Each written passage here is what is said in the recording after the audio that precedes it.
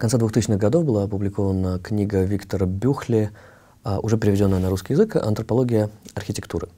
Собственно, Бюхли один из э, наиболее заметных сегодня авторов в области, которая называется исследование материальной культуры, э, и, э, наверное, одним, один из лучших специалистов по постсоветской архитектуре.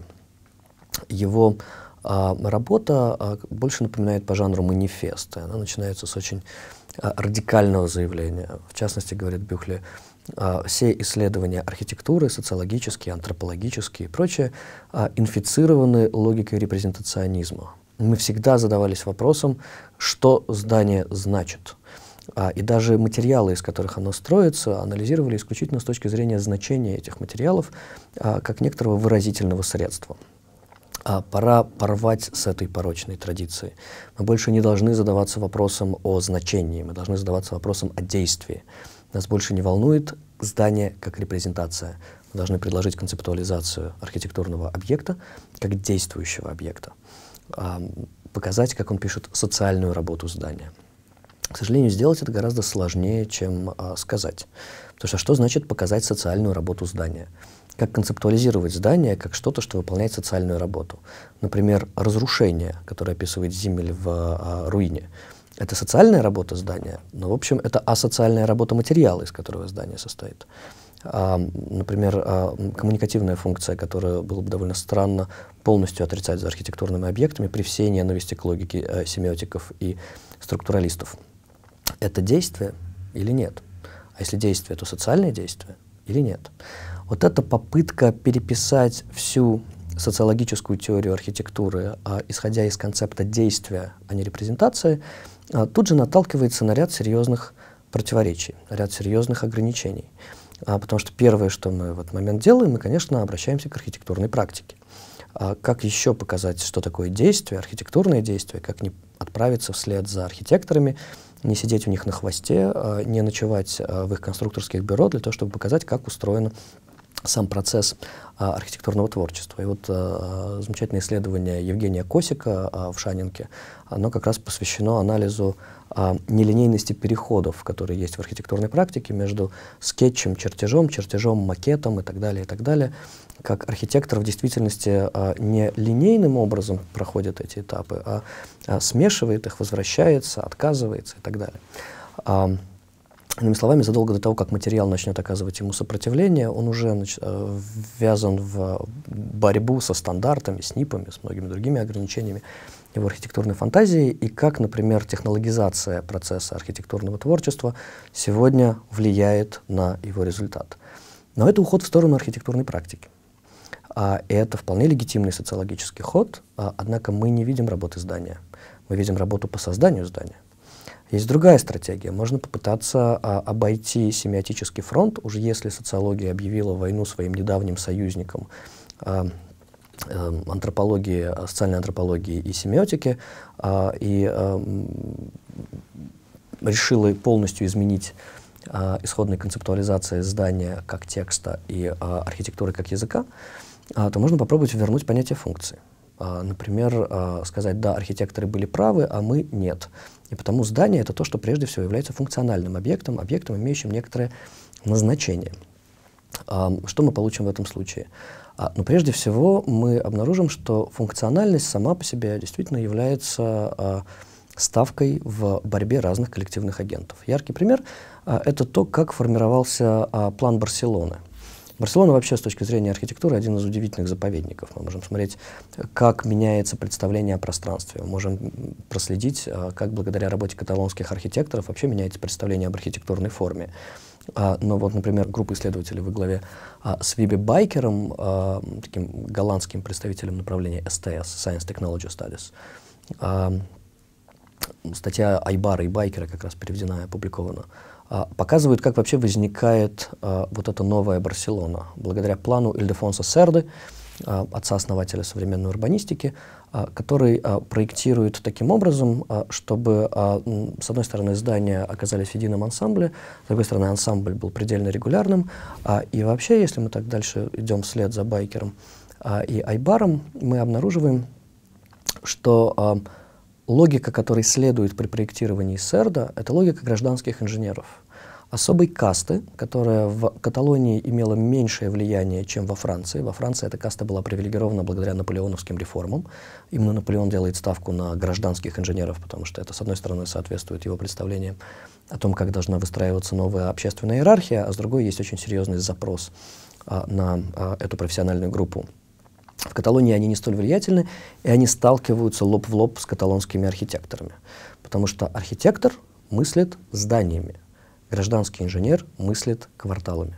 Архитектор мыслит а, зданиями, которые должны удовлетворять вкусу правящего класса, потому что архитектор, как правило, человек не привилегированный, но тем не менее вхожий в дома аристократии, проводящий с ними свободное время за обсуждением их загородных вилл, а потому а, Каталонская э, архитектура, в общем, изначально по своим политической интенции, если мы посмотрим на работы Пучи де Катафалька, э, Гауди — это очень консервативные люди, э, это правые консерваторы. И дальше Айбар и Байкер детально анализируют противостояние вот этого нового среднего класса в лице э, гражданских инженеров Ильдефонса Серде э, и старой архитектурной элиты, которая вписана в конкретное полусословное э, общественное устройство э, Каталонии — а, и как это противостояние отражается на ширине улиц а, и на требованиях, например, к архитектурному а, творчеству. Серда побеждает благодаря тому, что вовремя заключает альянс с гигиенистами, тоже мощным движением того времени, которое а, как раз ратует за медикализацию города, а, то, что хорошо описано в работах Фуко, что города должны проектироваться прежде всего с точки зрения аэрации, с точки зрения проветривания, с точки зрения медицинской а, специфики. Да, то есть, почему нужно разрушать старые средневековые города, потому что это скопление миазмов. И вот благодаря альянсу гигиенистов и гражданских инженеров две социальные группы, которые воплощают собой дух просвещения и рационализма, удается завалить э, старую каталонскую э, аристократическую э, архитектурную элиту, и сегодня Барселона выглядит так, как она выглядит. А, любопытно, а, а, что в этот момент мы вроде как вернулись к идее действия, идее политического действия, но это не действие здания. Это снова не действие здания. Это действия коллективных агентов, каждый из которых обладает своими собственными коллективными репрезентациями, отражающими их структуру с одной стороны и их положение в общественной структуре с другой. И вот у нас Барселона оказалась слепком, с одной стороны, силовых отношений между разными коллективными агентами, а с другой стороны, смысловых отношений между разными элементами здания, квартала, города. А, наконец, а, другой способ попытаться обнаружить, а, как здание создает разные формы социальности. А, когда только проектировался Ельцин-центр, э, я работал в качестве консультанта с группой архитекторов, это американская э, контора Ralph Appelbaum Group. Вот как раз э, Ник Аппельбаум, который руководил этим проектом для Екатеринбурга в Москве, предложил модель проектирования, центром которого в здании должна была быть агора. Агора как такой большой амфитеатр, большое общественное пространство. А его задача как архитектора состояла в том, чтобы а, Ельцин-центр стал чем-то вроде точки сборки города из разных городских сообществ, местом, куда разные городские сообщества могли бы приходить как на форум. Такой вдохновившись идеями Ханны Арендт а, и вот этой значит, а, ценностью некоторых комьюнити-центров, которых в России нет, он попытался принципиально иначе решить задачу соотношения четырех элементов, четырех типов пространств. Это административных пространств, которые связаны с управлением этим зданием, это экономических пространств, прежде всего офисов, которые сдаются в аренду, и магазинов, ритейла, которые должны как-то а, обеспечивать а, доходность здания. А это символическое пространство, связанное с музеем Бориса Ельцина, который там находится. И что для него особенно важно, это социальное пространство, публичное пространство, куда должны приходить разные сообщества и сталкиваться. Поэтому четвертый элемент оказывается привилегированным, а гора является символическим центром этого здания. А, входы организованы таким образом, чтобы можно было войти с разных сторон в здание и сразу оказаться на горе. И вот здесь, собственно, должна была рождаться новая форма публичности, новая форма социальности. Легко представить, что ему сказали э, заказчики на этапе обсуждения проекта. Это в смысле несколько входов. То есть нам их зимой отапливать, а на каждый ставить металлоискатель и каждому по охраннику представлять. Давайте у нас будет один вход, вот, вот отсюда в смысле так мало пространства для ритейла, а как здание будет отбиваться, в конце концов. То есть, может, давайте вообще без вашей горы. Вот давайте здесь у нас будет магазин «Пятерочка», я не знаю, да, вот тут еще один магазин, вот тут будут офисы, а вот тут музей, да, все нормально, музей оставляем. В итоге из всех четырех элементов, из которых центральной была как раз социальная функция, функция сборки, агрегации сообществ, функция создания публичного пространства, именно она и пострадала. А, и в этот момент антрополог бы вполне закономерно сказал, ну, правильно, вы себе представляете, каковы когнитивные решетки, те схемы классификации, коллективной репрезентации, через которые люди, заказывающие здания, его оценивают. Да? То есть для них нет такой ячейки под названием «публичное пространство для сборки городских сообществ». В общем, а, сегодня Агары в Ельцин-центре нет. Любопытно, что когда мы с ним работали в Казахстане над президентской библиотекой, а, там уже не было проблем, там с самого начала это было просто символически иерархизированное пространство. Пространство размещения локации символов. А все остальные социальные функции были вынесены за скобки. Другой пример а, попытки создания архитектурных объектов под формирования определенных типов социальных отношений. А, это а, печальная история города Сисайд а, во Флориде, своего рода такая икона левацкого урбанизма, который еще называют новым урбанизмом. Собственно, Андреас Дуэйни и Элизабет Платтер Зайербек написали манифест, бросив вызов старой, как им кажется, старой мозесовской традиции, где города воплощают собой идеологию скорости, идеологию роста, идеологию денег, а, и лишают человека его социальности, его возможности общения с другими людьми. Поэтому Seaside проектируется так, что а, в нем абсолютный приоритет а, общественных пространств, публичных пространств над частными. А, перемещение по а, по возможности на велосипедах. Сами дома в городе Сисайд проектируются таким образом, чтобы, а, во-первых, там центральным становится пространство для барбекю, куда можно пригласить соседей, и огромная веранда, на которой с ними же можно организовать застолье, благо климат во Флориде позволяет.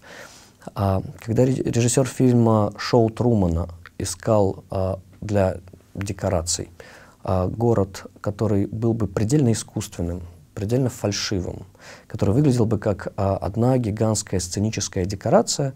Его жена принесла а, архитектурный журнал, на обложке которого был изображен и сказала, вот, посмотри на пространство новой социальной утопии, которая здесь построена.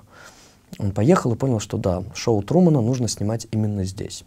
Иными словами, как раз те архитектурные объекты и те ансамбли, которые изначально должны были создавать новые формы социальности, создали новые формы непревзойденной искусственности. Впрочем, вы сами можете в этом убедиться, посмотрев фильм.